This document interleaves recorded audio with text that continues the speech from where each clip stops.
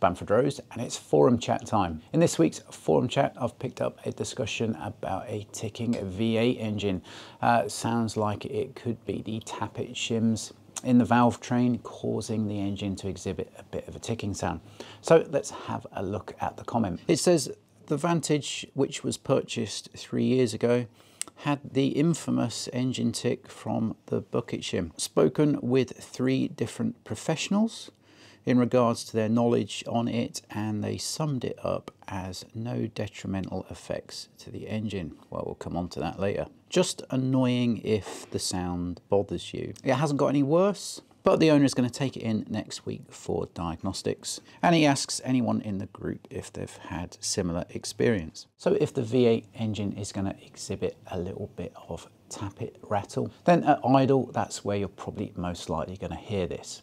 Now it's going to be a light metallic type tapping noise. Now the V8 engine does radiate noises all around the engine bay quite easily, but generally speaking, if it's the tappet shims that are an issue, you should be able to hear that louder from above when a bonnet is open, rather than putting your head underneath the underside of the car, just behind the front wheel, and you can hear an engine noise if it's from the bottom end uh, coming out from uh, the bottom of the car more prominently. So if it's tappet shims, you're going to more prominently hear it coming from the top of the engine. As you very lightly go on and off the throttle, maybe just resting your foot on the throttle, getting the engine revs to go from 750 idle to about 1250, 1350 RPM, and then back off again and keep going on and off, on and off the throttle. It's at that condition that you will promote the tappet shim to occur if it is tappet shims that are causing the noise. If you were to hold the engine revs at 2000, 3000 RPM, then you get so much mechanical thrash type harsh noise out of the engine that that will most likely drown out a tappet shim and you won't really hear the tappet shim tapping above the mechanical thrash of the engine. The cam bucket and tappet shim to camshaft has a set clearance which you stick your feeler gauge into and that clearance has a tolerance of what can be the upper limit and lower limit. So if someone, a professional, is going to assess this then what they need to do is park the car up cold overnight and the next morning they come to it, take the cam covers off and measure the clearance of all inlet and all exhaust valves. The inlet valve clearance on the V8 is 0.18 to 0.22 millimeters the exhaust valve clearance is 0.23 millimeters to 0.27 millimeters, and a tolerance on both of those is plus minus 0.02 millimeters. If a number of valves were at that upper end of clearance, then that results in listening to an engine and anyone with any mechanical sympathy would realize that that engine needs attention because it sounds pretty gruff. So between 0.25 millimeters and 0.27 millimeters clearance, there will be a period of time where the engine has the onset of a tick and the tick develops in terms of its severity. So if the professional wasn't gonna let it go cold overnight and measure the clearances and they were just gonna make an off the cuff statement about how serious the problem was, then it would be no more scientific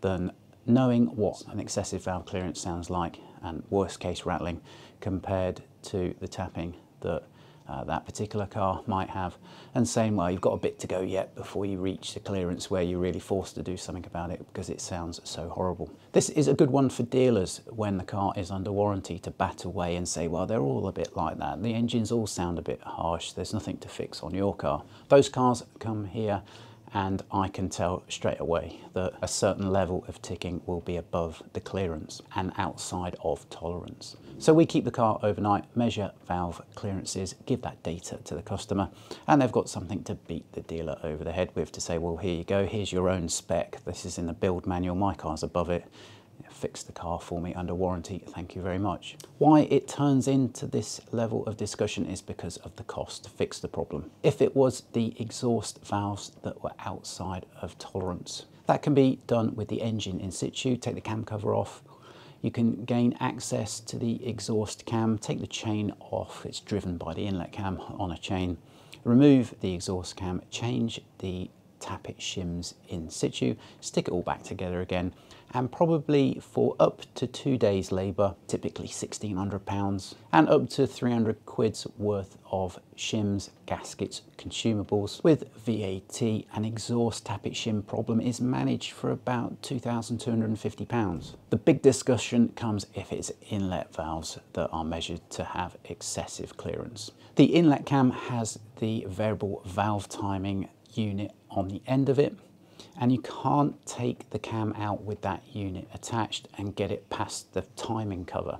So to extract the inlet cam, you have to take the front cover off.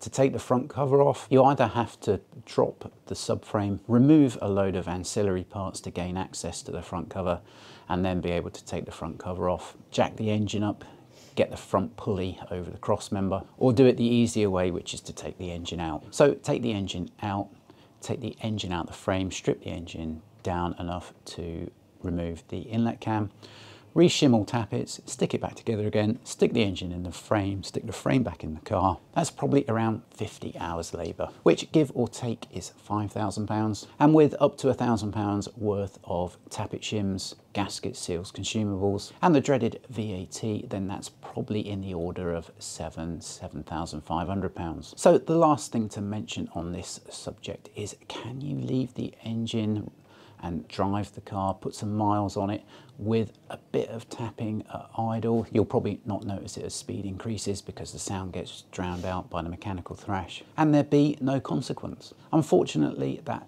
answer is in the realms of crystal ball and let's have a look at the hardware to understand why. So this is the exhaust cam.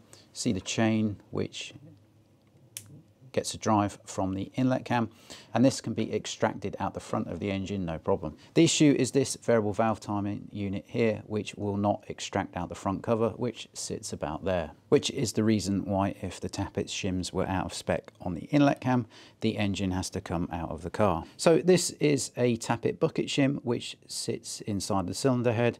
The underside of it will contact the valve head. This side will contact the camshaft and here is where we put a feeler gauge in to measure for the clearance.